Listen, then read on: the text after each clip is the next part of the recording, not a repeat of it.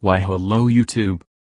Greetings from this text-to-speech editor, for my audio is still broken. Today we are going to be taking a look at Siege Nightbird.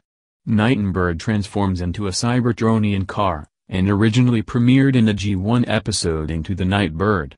This figure is a pretty good homage to Nightbird if Nightbird had a vehicle mode.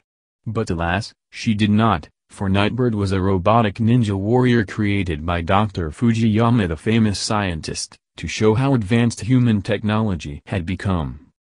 Gentlemen, what you are about to see is state-of-the-art robotics.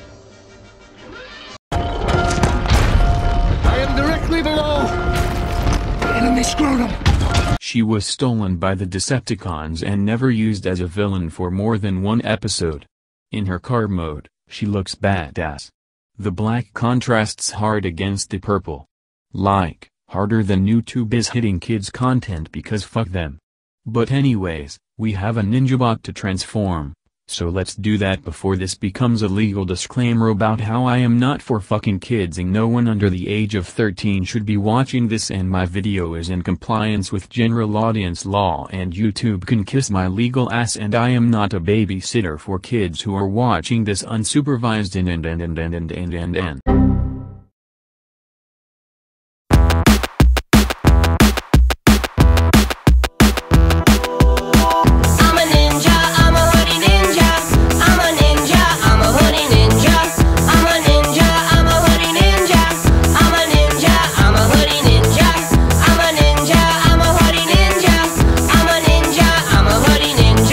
Paint scheme on this figure is fantastic and I really like just how hardcore the black on it is.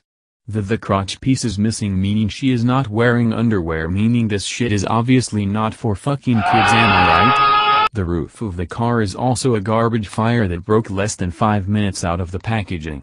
I thought this thing was going to be a Chromia remold with QC improvements but it turned out to be Chromia in black with a cooler helmet and color scheme.